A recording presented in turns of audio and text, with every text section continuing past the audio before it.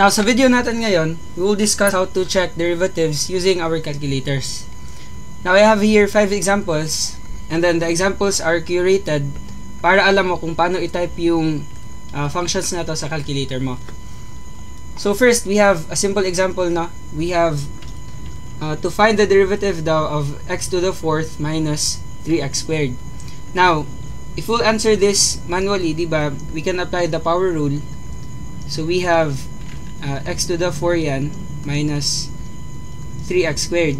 So, y prime becomes uh, multiply natin yan dyan. So, magiging 4x and then bawas tayo ng 1 sa exponent magiging 3.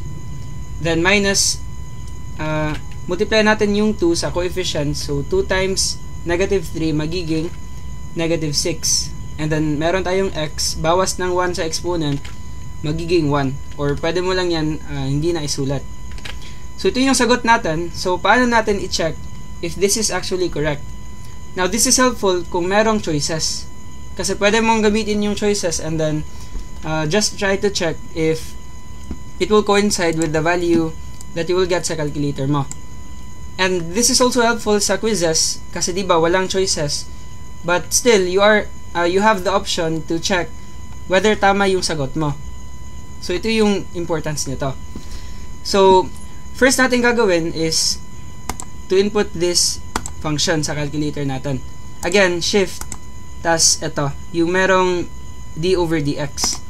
Now, what this does is, uh, it differentiates a function, and then once na-differentiate na siya, isa-substitute niya yung, uh, ano yung input mo dito. Let's say, lumagay ka dyan ng 5, so yung derivative niya, uh, mag-input siya ng 5 sa lahat ng values ng x. So, what do we need to input right here? We need to input the function. So, uh, isusulat ko na lang, we have d over dx, ayan, and then here, we have to input the function, the function that we are differentiating, ayan. And then, di ba, meron siyang vertical line dyan, and then we have x equals merong box So, itong nasa box, yan yung input value natin. So, yan yung isa-substitute ng calculator sa derivative ng function natin.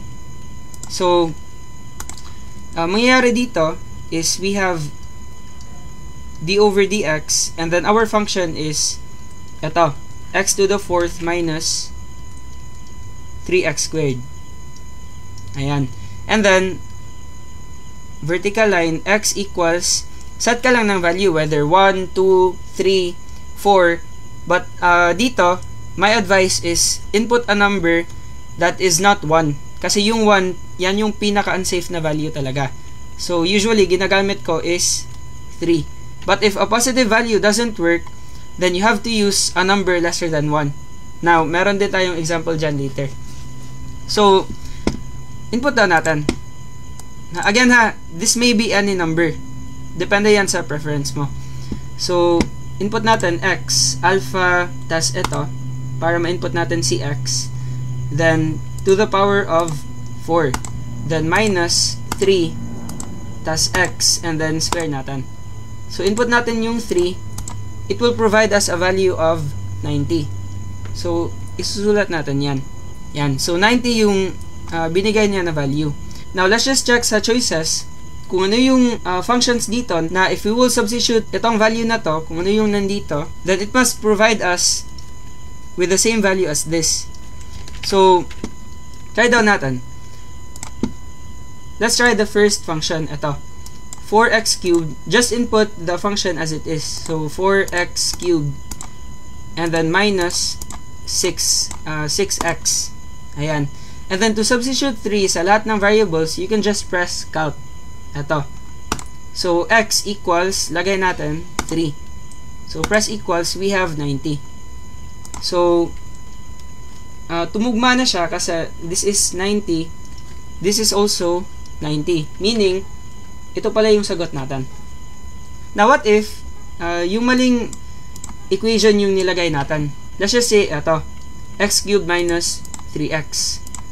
So, ito, 3 press calc and then still x equals 3 press equals we have 18 so 18 yung uh, binigay niyang value So, it doesn't coincide with 90. Meaning, mali yan. Hindi yan yung tamang sagot. So, ito na. Uh, we are safe na sa letter A. The next naman, we have to find the derivative of sine, uh, sine to the 4 of 3x minus cos to the 4 of 3x. Now, the way you will input this sa calculator, uh, pag meron kang trigonometric function na merong exponent, dapat naka ano siya, sine 3x to the fourth. Ganito yung pag-input sa calculator. But ito talaga yung notation niya. Iba to. Uh, iba yung ganito. Sine 3x then raised to 4. Iba yan. So, dapat ito lang. Nasa labas lang siya ng parenthesis. So, ito, we have this function Now, by the way, kapag trigonometric function, pinaka-safe na function is dapat nakarad siya. Uh, ito na lang. If you want to check derivatives, always make sure na nakarad yung calculator. Hindi naka-degree. So, di ba, this is D. So, that's, uh, that stands for degree. So, we have to change the mode. So, press shift and then, ito, shift setup. And then, dito tayo sa rad. So, press number 4.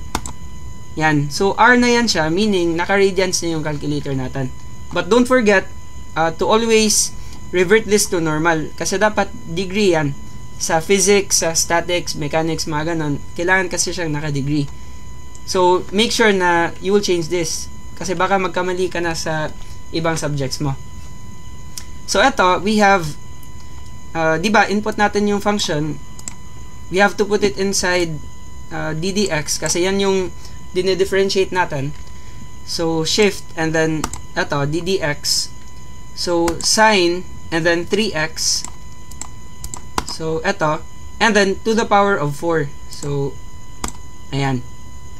And then minus cos then 3x still to the power of 4. Yan. So, input ka lang ng value dyan Again, uh, usually ginagamit ko 3.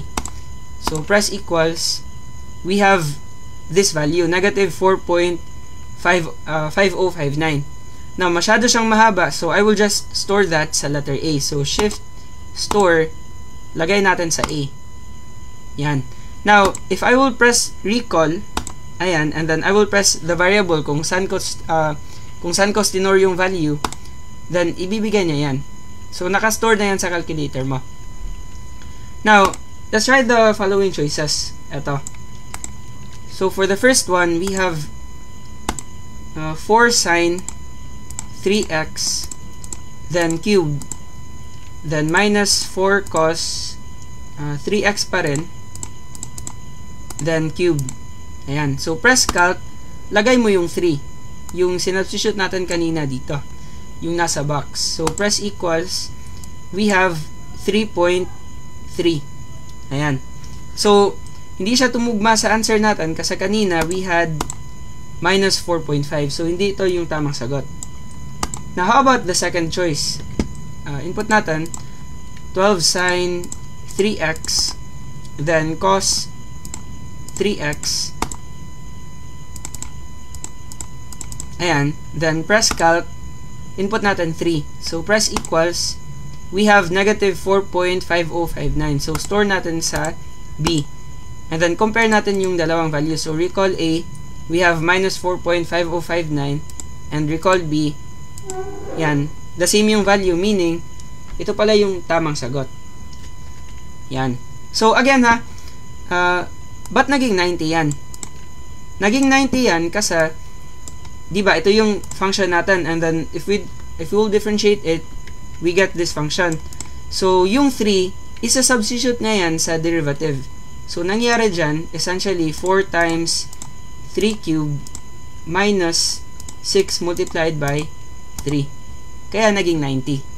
Ito. Kaya sinas uh, kaya sinubstitute din natin yung value ng andito sa mga nasa choices. Ayan. Now, how about for number 3? For number 3 naman, find the derivative of y equals sec squared x. Now, uh, ito yung medyo mahirap i-type sa calculator kasi kailangan alam mo yung identity. So, di ba, for the identities, we have, uh, di ba, meron man tayong sin x, cos x, saka tangent x.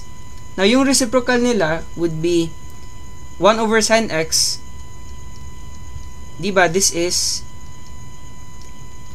cosecant, cosecant x. And then, for cos x naman, 1 over cos x, this is sec x. Uh, wait lang. Yan. And then, tan x naman, yung ano niya, reciprocal, 1 over tan x is cotangent x. Yan. Cho siya tau. So, ito, sec squared x, paano yan siya i-input? Sa calculator, you have to input this as 1 divided by cos x. Ayan. But naka-square kasi siya, so we have to square this. Yan. So, gan uh, ganito siya i-input sa calculator. So, we have the following choices. I-check natin kung saan dyan yung uh, tamang sagot. So, again, shift and then ito, ddx. Don't forget na dapat naka-radians yung calculator. So, we have uh, 1 over cos x tas naka-square. Yan. And then, input natin dito, 3. So, press equals, we have minus 0.2908. So, shift store, lagay natin sa A. Ayan. And then, let's try out the choices. So, first, we have 2 sec squared x tan x. So, input natin, 2 times uh, sec squared x. So, 1 divided by cos x Ayan. And then, dapat naka-square siya. Kasi sec squared. And then, multiplied by tangent x. So, tan x. Ayan. So, press calc. Input natin 3. So, press equals. We have the following value. So, shift store B. Ayan. So, recall A, recall B. The same lang yung dalawang values. Meaning, ito na pala yung tamang sagot. So, pag nakita mo na yung tamang sagot, wag mo nang i-check yung ibang choices. Kasi automatic, mali na yan. So, yan lang talaga, uh, yan lang talaga yung kailangan mo. Now, about for number 4? Yan. For number 4, we have an inverse trigonometric function. Now, yung inverse trigonometric function are arc sine, arc cosine, and arc tangent.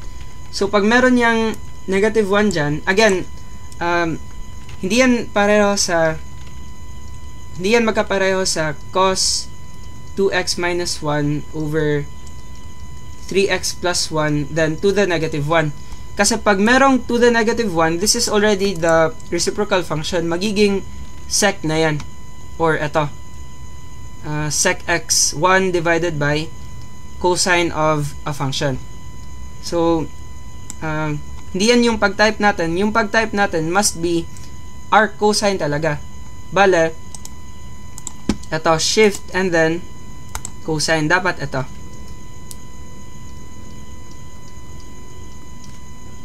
So, again, this is our cosine. Yan. So, input natin yung function, uh, shift, and then, ddx. Ayan. And then, shift, cosine, para our cosine, then input natin, 2x minus 1 divided by 3x plus 1. Ayan. And then, input tayo ng value dito. Uh, sabihin natin, 3 pa rin. So, if I will input 3, ito yung lalabas na value, minus 0.0577. So, shift store, lagay natin sa A para madali, uh, madali natin i-check. But, if hindi ka pa sanay, pwede mo namang isulat yan sa uh, papel mo.